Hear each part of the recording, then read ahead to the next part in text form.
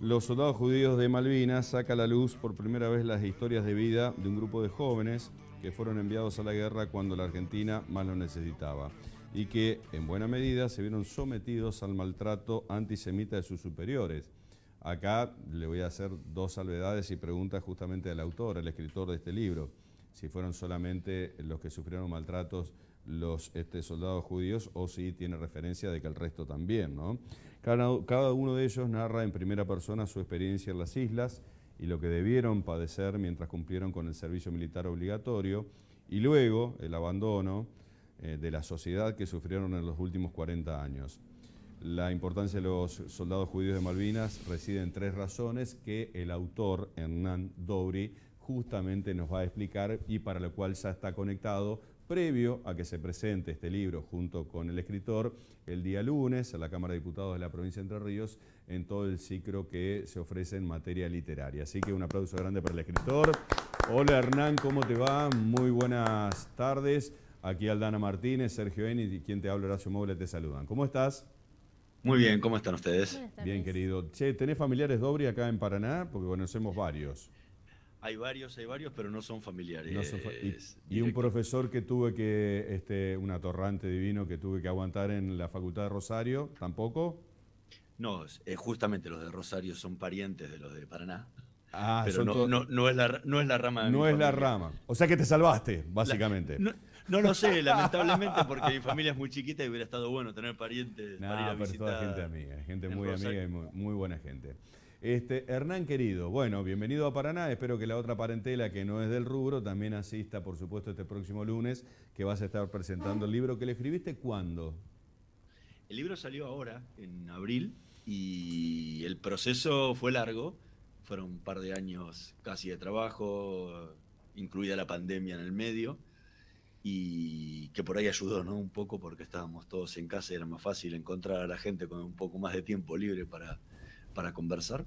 Y, y se lo terminé de escribir a fin, de, fin del año pasado. Y esto es historia real narrada por soldados que estuvieron en Malvinas y de los cuales todos eran de religión judía. ¿Es de la totalidad o de alguno de ellos? No, no, los que. Cada uno de los capítulos del, del, libro es la historia de vida de uno de los soldados. O sea, para mí era importante que, que cada uno pudiera contar su historia, porque cada guerra es diferente a la del otro. Entonces, Obviamente. tomar solamente. A pesar que es la misma guerra. A pesar de que sí, dos personas metidas en la misma trinchera vivieron una guerra totalmente diferente una del otro. Y, entonces decidí que ese era el mejor método para, para, que, para que cada uno pudiera contar lo que, lo que había vivido. Y, además de eso, el, está narrado en primera persona. O sea, no es que, yo estoy, que, yo me meto en sus, en sus historias.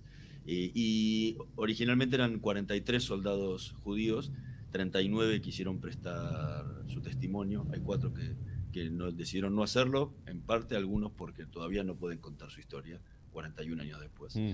Y, y después de que salió el libro aparecieron cuatro más, así que bueno, en algún momento estaré preparando una segunda edición. Sí, claro. Donde, ampliada, donde habrá cuatro casos, cuatro casos más. Y en el caso de que sigan apareciendo, eh, habrá un segundo tomo, porque ya este tiene más de 450 páginas y, no se puede ampliar mucho más. Y, habrá que leer. Si no va a ser la Biblia. Habrá que ver, Hernancito. La pregunta hacía la salvedad en, la referencia de prensa que, que tenía este, y que estaba leyendo de que lo hiciste por tres cuestiones fundamentales. ¿Me las podés detallar cuáles son? La primera es, o sea, lo que las une a las tres es la memoria. Y una era la memoria comunitaria, para que dentro de la comunidad judía supieran que esto había ocurrido. Y hoy todavía, afortunadamente, tenemos la posibilidad de tenerlos con vida con nosotros. Entonces todavía pueden ir a contar a los diferentes lugares eh, sus historias. Pero, quién sabe, 30, 40 años para adelante, eh, aunque, ojalá que vivan hasta los 120, pero lamentablemente uno sabe que cada vez van a ir quedando menos, casos. Entonces, que este libro le permitiera tener ese recuerdo y, servir de referencia para cuando uno quisiera eh, hablar de lo que vivieron los soldados judíos en Malvinas. La segunda es para la sociedad en general. porque lamentablemente, pleno siglo XXI, todavía tenemos que estar escuchando algunos energúmenos que dicen que si sos judío no podés cantar el himno, que te preguntan que si sos, si sos judío o si sos argentino, como si eso fuera una diferencia. Entonces, para darle argumento a aquellos que quieran responderles a, esas personas y decirle, mira, cuando había que ponerle el pecho a las balas, estos jóvenes judíos fueron eh, de la misma forma que fueron todos los de las demás religiones, porque la realidad es que no había ninguna diferencia. No. O sea, uno no, no va a la guerra por una religión, sino va a la guerra porque es argentino, o, a esa guerra porque era argentino. Entonces, no, no había una diferenciación. tampoco tenías mucha cuando opción. te iban a seleccionar. Estaba claro, no había una diferenciación. De, manera obligatoria y, a otra cosa Exacto. Entonces, eh, si no había diferenciación en ese momento, como no la debe haber nunca, menos la hay ahora. No, está bien. Entonces, y la tercera era una cuestión de memoria familiar. Porque a todos nos pasa que tenemos un abuelo un bisabuelo, que sabemos algún datito por ahí, que estuvo, vino de Europa o que, o que estuvo en la Primera Guerra Mundial o la Guerra Civil, o en, e, pero las generaciones van perdiendo ese relato y cada vez saben menos de lo que pasó y que las propias familias pudieran conocer eh, con el tiempo el relato de, de, este veterano de Malvinas que había combatido en el 82. Y sabes que, si bien ese punto parece un poco superfluo, ¿no? Eh, es importantísimo porque hay casos dentro del libro que jamás le contaron a sus familias lo que habían vivido. Mirá. Me lo estaban contando a mí. Y sus familias se están enterando por el libro. Mirá qué cosa, ¿no? Eh, o no lo contaron de la forma en que me lo contaron a mí. Porque yo les hice preguntas que por ahí los familiares no se las hicieron. Entonces descubren nuevas vetas de la historia de su padre o su esposo o su abuelo que, que no conocían hasta ahora. Bueno, la pregunta primera que te tengo que hacer es, y si bien tampoco tengo ganas de espoliarte el libro, porque para eso vayan y cómprenlo eh, y vayan a la presentación este lunes, pero dame un ejemplo de a qué, clase de maltratos eran sometidos por el hecho de ser judíos, eh, bueno, justamente las personas que, están contenidas en tu libro. no había un maltrato. O sea, los maltratos van en un rango, que van de menor a mayor desde el insulto hasta el, hasta el para mí la, la, más cruenta me parece que es el estaqueo. Eh, y en el medio hay un rango de todo, desde molerlo a trompadas en la cara, desde bailarlo en, en, el medio de las islas, en medio de la guerra, desde meterle la cabeza congelada en el agua meterle la cabeza en el agua congelada. estaquearlo y, meterle agua, estaquearlo y mojarlo para que se mueran de frío. Ahora, eso, eso lo, hemos, lo hemos visto narrado incluso y hasta las películas, ¿no es cierto?, que se hicieron de, los eh, hijos de Malvinas. La pregunta, te digo, es, ¿eso se hacía solamente por el, ser, eh, por el hecho de ser judío o por eh, la indisciplina en general que querían hacer este, parecer los, los jerarcas de ese momento? O sea, también se lo hicieron a gente que no era judía, eso voy. Totalmente. La diferencia es que a estos se los hicieron con una condición antisemita. O sea, se los hicieron por ser judíos. O sea, no quiere decir que era un maltrato especial para ellos. Existía para un montón de casos. Y ahí me gusta aclarar algo siempre porque si no eh, es un tema muy susceptible. Sí. Eh, quiero aclarar que no fue todos los oficiales de las Fuerzas Armadas ni especialmente que en el ejército, que es donde más se dieron, ni todos los suboficiales. Esto fue un grupo minoritario que llevó a cabo estas prácticas y no la totalidad del ejército. Cagones además, porque lejos del frente de batalla se mantenían haciendo esa cuestión de, disciplinamiento interno y cuando tenían que estar eh, a cargo de, las tropas se mandaban a guardados, se pinchaban el dedo para ser este, deportados después del continente. Los más cagones hacían eso pero la mayoría combatió con bravura y es reconocido por los ingleses y con un profesionalismo increíble, con los elementos que limitados o más o menos limitados que tenían, eh, presentaron batalla con una ferocidad increíble. O sea, para mí me gusta separarlo porque si no pareciera que todas las Fuerzas Armadas o que todo el ejército hizo esto y la realidad es que fue un grupo minoritario. Lo que no quiere decir que no haya existido y que no haya que contarlo.